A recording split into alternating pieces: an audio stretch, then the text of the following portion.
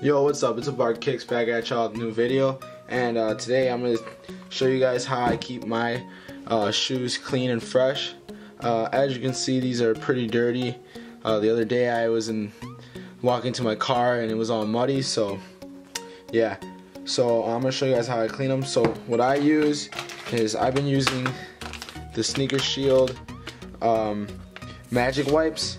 These, uh, I think they work really well and yeah, so let's just get right into it.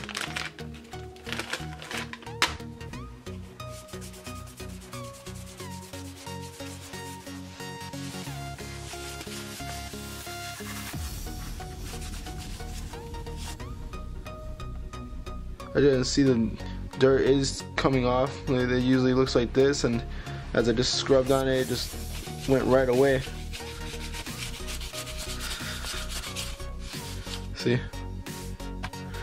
Also, I would suggest just wiping them off with a rag after you're do almost done. Like, just to make sure you get any of this excess dirt off. And it should help a little bit more, make sure that they're a little bit more clean. So, as you can see, these work really well. I, um, personally, I really do like these. I've never really used any other sneaker cleaner at all. I really don't think I really need it because I really do take care of my shoes, but sometimes things like this happen where you didn't realize there was mud there and you stepped in it and now your shoes are all dirty but don't fear because you can use these and clean them up pretty well. The bottoms are pretty dirty too. You can clean the bottoms too. But at the same point it's not going to all come off due to the yellowing that happens on free runs Alright, so I'm going to finish cleaning these up and then I'll show you guys a after of these and a, a, before and after. I'll show you guys this one, which is before, and then I'll show you guys the after when I'm completely done. So, be back soon. So, here's a before, well before I use the Sneaker Shield Magic Wipes. As you can see, they're really dirty. The midsole is completely covered in dirt and mud um, the bottoms are extremely dirty. Um, for severe cases of like really dirty shoes, uh, you might need to use more than one uh, cloth because you want to get them completely clean. Yeah, so I would use more than one cloth if um, if your shoes are really dirty, as these are.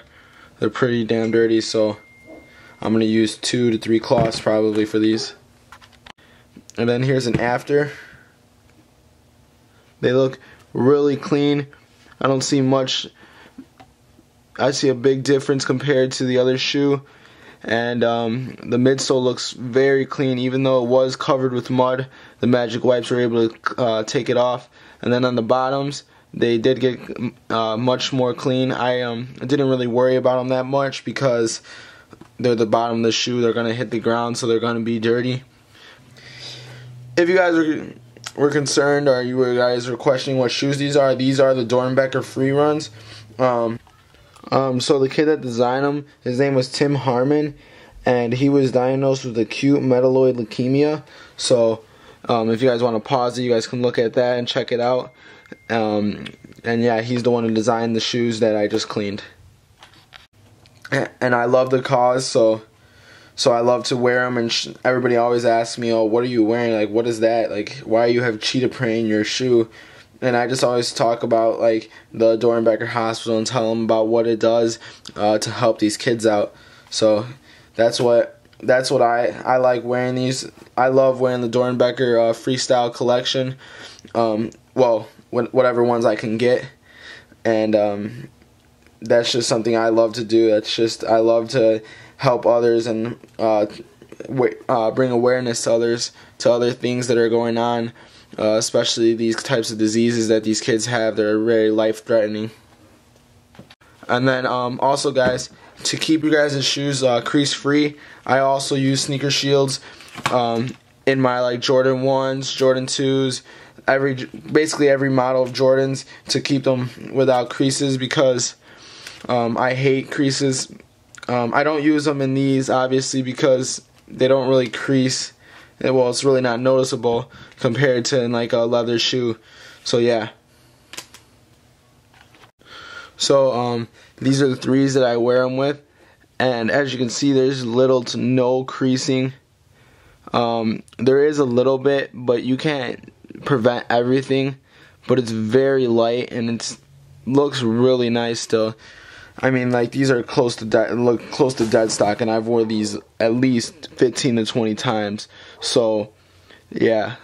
So you guys can see the that they actually do work. Like most threes crease really badly, and these look really nice. Alright guys, thank you for watching. Hope you guys liked this video.